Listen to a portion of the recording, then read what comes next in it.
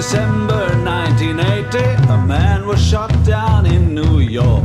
He was an important man of music, almost like a brother I never knew. I wanted to be like him when I was young. I could identify with what he imagined and above all.